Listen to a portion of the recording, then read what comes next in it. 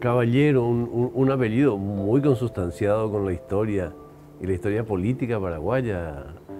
Háblenos de sus raíces en primer lugar. Pues sí, efectivamente los caballeros llegaron a, Paraguay hace muchísimo tiempo. Alguna gente me dice, ¿usted es paraguayo de origen? Sí, le digo, de 400 años. Eh, y después tuvimos algunos otros caballeros que han sido eh, patricios o próceres de la industria nacional, de la, de la la industria de vamos a hablar también. De la industria vamos a hablar de, de nuestra historia. Eh, la verdad es que los paraguayos nos cuesta remontarnos más allá de nuestros bisabuelos. Mm. En general, quizá la propia guerra del 70 hizo que eh, se cortaran un poco los vínculos familiares, en algunos casos desaparecieron, mm. Y entonces la cuenta que hacemos hoy de nuestros antepasados se inicia casi casi después de la guerra. Y esto ocurre también, por supuesto, nosotros sabemos que este, la familia Caballero está hace muchísimo tiempo, pero yo no te podría decir este, recitar los antecesores. Puedo sí comenzar con el general Caballero, eh, que es uno de los hombres menos discutidos del país. Así mismo. Te habrás dado cuenta, aquí hay dos, dos prohombres que son poco discutidos. Uno de ellos Caballero y el otro Eligio Ayala. Claro. y mi familia después, por supuesto, eh, sigue enredada con el tema de la política. Mi abuelo fue político, pero te comento esto como, como algo muy peculiar o pintoresco.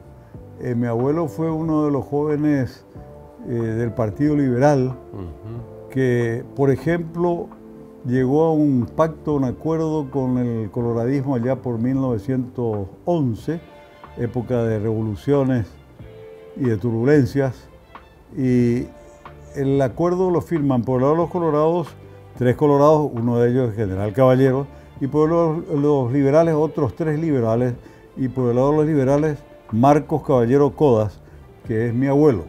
Ah, mira. Eh, en mi familia lo de la tradición política no existe la constante es el cambio, en el caso de mi familia, mi padre eh, suscribe estas, una de estas corrientes que se pusieron muy, muy en boga ya por los años 920, 30, 40, me refiero al socialismo o al comunismo y al fascismo. Claro. Y entonces, este, para hacer corta la historia, papá pasa a pertenecer a la, a la fila del socialismo, digamos, que tiene como, tiene como refugio un partido que se funda en el 51, el Partido Revolucionario Freverista. Cuando mi padre estuvo enrolado en este partido, fue presidente del partido eh, en un par de ocasiones. Bueno, y, entonces, para seguir con la tradición del cambio, eh, yo ni, ni, colorado, ni liberal, ni ferrerista, como vos sabés. Eh, esa fue una etapa, dicho sea de paso también, eh, eh, hubo muchas alusiones a su parentesco con el general Bernardino Caballero justamente en la etapa fundacional del Partido Encuentro Nacional, cuando usted se proyecta a la política y obviamente es un apellido que suena. Al margen del, comentario que nos puede hacer al respecto de eso precisamente y de si alguna vez alguien le dijo eh, doctor Caballero Vargas, usted tendría que ser colorado, por ejemplo.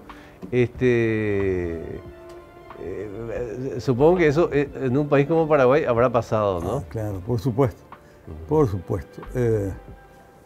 Bueno, yo nunca quise en realidad, entre comillas, explotar el parentesco con el general, porque como no estaba afiliado al Partido Colorado, me pareció medio de mal gusto desde afuera eh, aprovechar el parentesco. Claro, claro. Por supuesto que mucha gente conoce, mucha gente habló de eso, pero personalmente nunca autoricé, además el Encuentro Nacional, mm. que utilizaran eh, lo del general Caballero como, una, como un elemento de comunicacional o de publicidad o lo que fuere.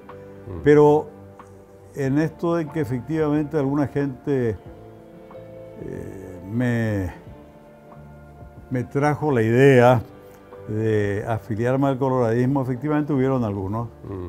Eh, y para serte muy sincero, en algún momento dado, con Euclides, pensamos efectivamente. Sí. Euclides Acevedo, nuestro Hace poco hablé, hablé con él en una entrevista y me, me- me habló de eso. Ah, ¿te habló de eso? Sí, sí, exacto. Este, en algún momento pensamos que podría ser eh, útil, digamos, hacer, hacer parte del Partido Colorado por aquello de que los partidos tradicionales en el país son casi indestructibles Sí.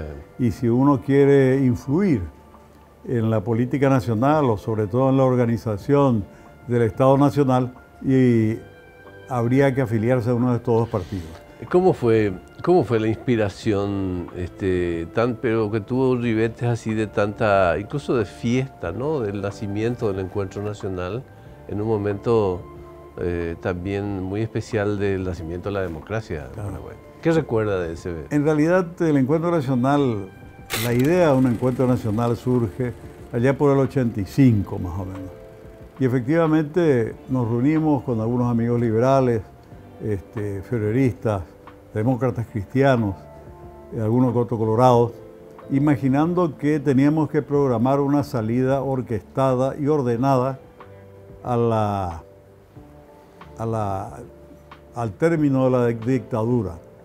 Que en realidad, para serte sincero, lo hacíamos como un ejercicio intelectual porque nos dábamos cuenta que era muy difícil, finalmente, después de tanto tiempo, intentar una, un derrocamiento del presidente, ya sea por, la, por las urnas o por fuera de las urnas.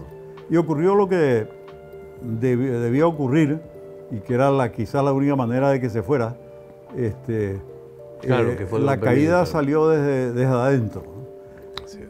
Bueno, entonces cuando se produce esto, se produce el golpe, eh, y vos te acordarás, fue una época realmente gloriosa porque todos los días había algo nuevo que festejar, se abrían los periódicos, se abrían las radios, eh, las manifestaciones públicas eran, públicas eran ampliamente toleradas. eh, se llama a elecciones para una nueva eh, constitución y sobre la marcha un llamado a elecciones para el 93, es decir, todos fueron buenas noticias. Y el general Rodríguez tuvo mucha suerte además, porque le tocó bailar con la más linda eh, desde el punto de vista económico.